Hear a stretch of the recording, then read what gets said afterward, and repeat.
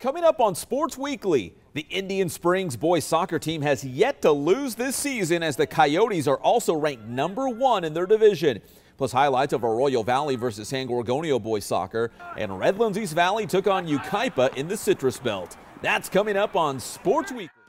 Welcome back to Sports Weekly. The expectations continue to build for the Indian Springs boys soccer team. Last year, we saw the Coyotes win their first league title in boys soccer and also earn their first playoff win.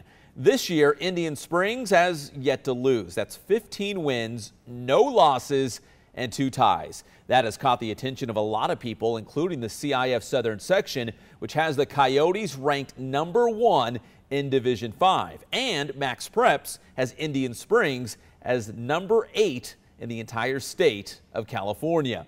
The Coyotes chalked up another San Andreas League victory as they hosted Arroyo Valley, a match that was shown live right here on IEMG.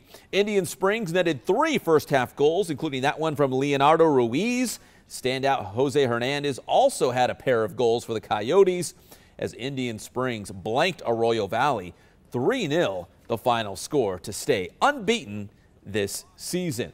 Well, the Hawks, they were looking to bounce back on the road at San Gorgonio in SAL play.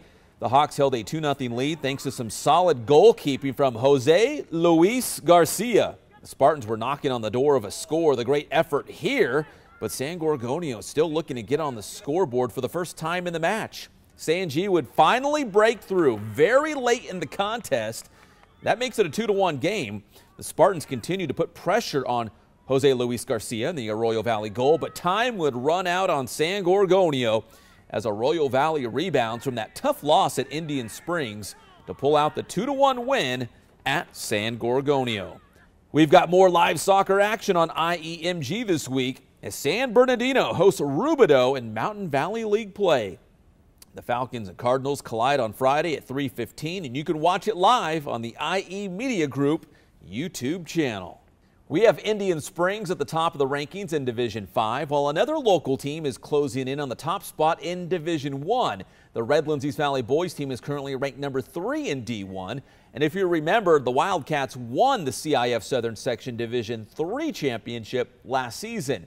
Head coach Ted Small is his team playing on the road at Yucaipa as the Wildcats were looking to stay a game ahead of Carter in the CBL standings.